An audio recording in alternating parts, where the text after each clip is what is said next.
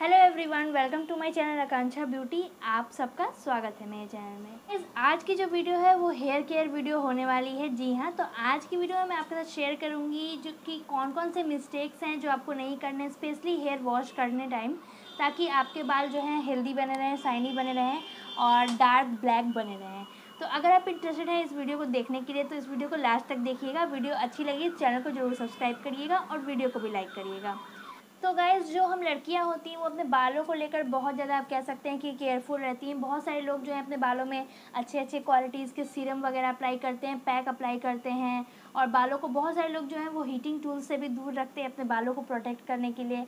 तो हम लोग अपनी बालों की केयर तो बहुत अच्छे तरीके से करते ही हैं बट अभी जो भी पॉल्यूशन वगैरह है या फिर हमारी किसी भी मिस्टेक्स वगैरह की वजह से ऐसा बहुत बार होता है कि हमारे बाल जो हैं वो कमज़ोर हो जाते हैं, झड़ने लगते हैं रफ़ हो जाते हैं सॉफ्ट नहीं रहते, उनमें शाइन नहीं रहती, ऐसी बहुत सारी चीज़ें होने लग जाती हैं। तो उसी में से आज फाइव मिस्टेक्स मैं आपके साथ शेयर करूँगी। कौन कौन सी मिस्टेक जो है आप करते होंगे हेयर को वॉश करने टाइम या फिर जो आप मिस्टेक्स आपको नहीं करने हैं, वो मैं आज की वीडियो में आपके साथ शेयर करने वाली हूँ। तो अगर आप उन मिस्टेक्स करते हैं तो आज से ही बंद कर दीजिएगा, और अगर नहीं करते हैं तो कभी भी नहीं करिएगा। चलिए, मैं मिस्टेक्स आपके साथ शेयर करती हूँ। तो जो पहली मिस्टेक है, जो बहुत सारी लड़कियाँ करती होंगी, वो ये है कि बालों को जो है वो सिरों से धोना। जी हाँ सिरे यानी कि जो लास्ट पार्ट होता है, जो हमारा नीचे का, जैसे कि आप मेरे बाल की बात कर सकते हैं। यहाँ नीचे का जो पार्ट है, ये। इसको अगर आप वॉश करते हैं तो इसको आपको ज़्यादा वॉश नहीं करना है। जी हाँ बहुत सारी लेडीज़ क्या करती हैं कि जो भी शैम्पू वगैरह अप्लाई करती हैं, उसमें झाग बनाने के लिए हम अपने बालों का जो भी नीचे का पार्ट होता है, उसमें शैम्पू ज़्यादा लगा देते हैं। तो उससे क्या होता है कि हमारे जो नीचे का एरिया है हमारे बालों का, वहाँ पे ज़्यादा नमी ऑलरेडी नहीं पहुँच पाती। क्योंकि जो भी ऑयल वगैरह आप करते हैं, या फिर स्कैल्प पे जो नेचुरल ऑयल बिल्ड होते हैं, वो स्कैल्प पे तो रहते हैं बट नीचे तक, यानी कि सिरों तक नहीं जा पाते हैं। बॉटम तक हमारे बालों के नहीं जा पाते हैं। तो ऐसे ही उनमें नमी की कमी होती है और जो शैम्पू वगैरह है उसमें झाग बनाने के लिए हम नीचे में ही बॉटम साइड में ही ज़्यादा शैम्पू लगाते हैं, ज़्यादा झाग बनाते हैं। उससे जो हमारे बालों के नीचे का जो एरिया है वो बहुत ज़्यादा कमज़ोर हो जाता है रफ़ हो जाता है। और बॉटम में ज़्यादा शैम्पू लगाने की वजह से ये भी होता है कि हम अपने स्कैल्प पर ज़्यादा ध्यान नहीं दे पाते, हमारे स्कैल्प पर ज़्यादा शैम्पू नहीं लग पाता, जिससे कि कुछ आप कह सकते हैं गंदगी वगैरह या फिर ऑयल की बात कर लें, वो हमारे स्कैल्प पर रह जाती हैं, जो बाद में खुजली वगैरह की या फिर डेंड्रफ की रीज़न बनती हैं। जी हाँ। तो आपको कभी भी शैम्पूज नीचे में नहीं लगाने हैं। नीचे में शैम्पू लगाने की ज़रूरत ही नहीं होती है। जब आपके बाल धुलते हैं तो नीचे से ही शैम्पू सारा नीचे जाता है, गिरता है। तो इसलिए वो डायरेक्ट ही नीचे से होकर वॉश हो जाते हैं। इसलिए नीचे में आपको उतना करने की ज़रूरत नहीं होती है। हमेशा अपने स्कैल्प पे आप कह सकते हैं, अपने फिंगर टिप से सर्कुलर मोशन में शैम्पूज़ को अप्लाई करिए, ताकि जो शैम्पू है वो आपके पूरे बालों में स्कैल्प में जा सके और अच्छे से सफ़ाई कर सके। तो ये पहली मिस्टेक है कि आपको कभी भी अपने बालों के बॉटम में नहीं लगाने ज़्यादा शैम्पू ऊपर में स्कैल्प पे ज़्यादा लगाना है। नेक्स्ट मिस्टेक है गाइज़ क्योंकि अभी ठंड आ रही है तो बहुत सारी लेडीज़ जो है, वो गर्म पानी से अपने बालों को वॉश करती हैं। जी हाँ वार्म वाटर से। तो ये आपको नहीं करना है। कितनी भी ठंड हो, आप कोशिश करिए कि आप गर्म पानी से या फिर ज़्यादा गर्म पानी से अपने बालों को वॉश ना करें, क्योंकि इससे आपके बालों की जो भी नेचुरल ऑयल वगैरह है, वो ख़त्म हो जाती है। चमक आपके बालों की ख़त्म हो जाती है, जो भी शाइन वगैरह होती है।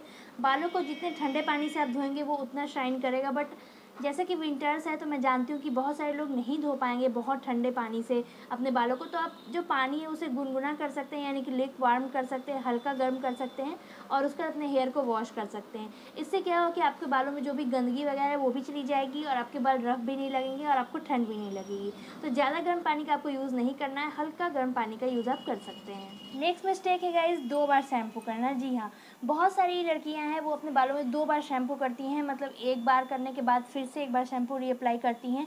ऐसा सोच हो जाती है हमारी कि ज़्यादा शैम्पू लगाने से हमारे बाल ज़्यादा साफ़ होंगे, ज़्यादा सॉफ्ट हो जाएँगे। बट ऐसी कोई बात नहीं है। अगर आपने अपने बालों में ऑयलिंग की हुई है या फिर आपने कोई पैक लगाया हुआ है तो आप दो बार शैम्पू कर सकते हैं अगर आपके बालों को ऐसी नीड लग रही है तो। बट अगर आपने ऑयल अप्लाई नहीं कर रखा है या फिर कोई पैक अप्लाई नहीं करके रखा है तो आप एक बार में भी शैम्पू कर सकते हैं। आपको दोबारा शैम्पू अप्लाई करने की ज़रूरत नहीं पड़ेगी। जी हाँ। तो अगर आप तेल वगैरह लगा रहे हैं, कोई भी हो, आप कह सकते हैं कोकोनट ऑयल आप यूज़ करते हैं या फिर आप आलमंड ऑयल यूज़ करते हैं। कोई भी ऑयल यूज़ करते हो, तब तो आपको हो सकता है कि शैम्पू को रीअप्लाई करने की ज़रूरत पड़ेगी, क्योंकि एक बार में जो ऑयल है वो नहीं जाता है। बट अगर आपने शैम्पू वगैरह करने का सोचा है और आपने ऑयल कोई भी अप्लाई करके नहीं रखा है, कोई भी पैक नहीं अप्लाई किया है तो आप एक बार में भी अपने बालों को अच्छे से साफ़ कर सकते हैं। आपको दोबारा शैम्पू लगाने की ज़रूरत नहीं पड़ेगी, क्योंकि ज़्यादा शैम्पू लगाने से डेफिनेटली आपके बाल जो हैं वो, आप कह सकते हैं जो नेचुरल ऑयल होता है उनमें वो कम हो जाएगा, आपके बाल थोड़े, आप कह सकते हैं रफ़ हो जाएँगे, उनमें उतनी शाइन नहीं रहेगी। तो कोशिश करें कि एक बार में ही शैम्पू करके आपके बाल अच्छे से क्लीन हो जाए। मिस्टेक है गाइस जो ज़्यादा लोग तो नहीं करते होंगे, क्योंकि अब सभी लोगों को मालूम चल गया है बट कुछ लोग करते होंगे तो मैं क्लियर कर दूँ। कभी भी कंडीशनर को आपको स्कैल्प पे नहीं लगाना है, जी हाँ ये मिस्टेक आपको बिल्कुल भी नहीं करनी है। कंडीशनर को अगर आप अपने स्कैल्प पे लगाते हैं तो वो आपके स्कैल्प के लिए अच्छा नहीं होता है। और साथ में आपके स्कैल्प में ऑलरेडी फिर से नमी, यानी ऑयली हो जाता है आपका स्कैल्प तो शैम्पू करने का कोई भी फ़ायदा नहीं होता है। तो आप कंडीशनर को आप कह सकते हैं कि बॉटम लाइन में या फिर यहाँ से जो आपके बाल हैं स्कैल्प जहाँ पर नहीं है, वहाँ से लगा सकते हैं। कंडीशनर को हमेशा ही आप अपने बालों के इतने चार उंगली के नीचे से ही आपको अप्लाई करना होता है, वरना आपके बाल जो हैं, वो बहुत ज़्यादा सॉफ्ट हो जाएँगे तो चिपचिपे लगेंगे और शैम्पू करने का कोई फ़ायदा नहीं होगा। तो कंडीशनर को कभी भी अपने स्कैल्प में अप्लाई मत करिए, हमेशा अपने बालों के बॉटम एरिया में या फिर जो भी आपके बाल हैं, वहाँ पर अप्लाई करिए स्कैल्प वाले एरिया में मत करिए। जो नेक्स्ट एंड लास्ट मिस्टेक है, वो ये है कि बालों को रगड़ कर या फिर आप कह सकते हैं झाड़ कर सुखाना। जी हाँ बहुत सारी लड़कियाँ हैं या फिर लेडीज़ हैं, वो अपने बालों को काफ़ी रगड़ के सुखाती हैं या फिर काफ़ी ज़ोर ज़ोर से झाड़ कर सुखाती हैं। बट ये मिस्टेक आपको नहीं करनी है, इससे आपके बाल बहुत ज़्यादा टूटेंगे क्योंकि वो अभी गीले भी होते हैं और साथ में आपके बाल बहुत रफ़ हो जाएँगे, बिल्कुल झाड़ू जैसे हो जाएँगे, कमज़ोर भी हो जाएँगे। तो आपको ये बिल्कुल भी नहीं करना है। बालों को सुखाने के बहुत सारे तरीके हैं। सबसे अच्छा तरीका तो यही है कि आप सबसे पहले एक टॉयल या फिर कोई भी कॉटन का कपड़ा लेकर पहले अपने हाथों से ही दबा दबा कर बालों से जो भी एक्स्ट्रा पानी है, वो निकाल लें, कपड़े में आ जाए। उसके बाद नेचुरली अपने बालों को आप कह सकते हैं कि नेचुरली सुखा सकते हैं। कोई भी ड्रायर वगैरह का आप यूज़ ना करें। अगर आपको इमरजेंसी नहीं है, कहीं जल्दी से नहीं जाना है, बालों को सुखाने की ज़रूरत नहीं है तो आप बिल्कुल भी ड्रायर वगैरह का यूज़ ना करें। बिल्कुल नेचुरल तरीके से अपने बालों को सुखाएँ। ये ज़्यादा अच्छा होता है। आपके बालों को भी नेचुरल हवा मिलेगा तो बहुत अच्छा रहेगा। और साथ में आपके बालों की जो भी ग्रोथ वगैरह है, वो ज़्यादा अच्छे से होगी। तो कभी भी अपने बालों को रगड़ कर या फिर आपको नहीं सुखाना, ज़्यादा रगड़ने से और पटकने से आपके बाल बहुत ज़्यादा कमज़ोर हो जाते हैं। तो ये मिस्टेक भी आपको नहीं करनी है।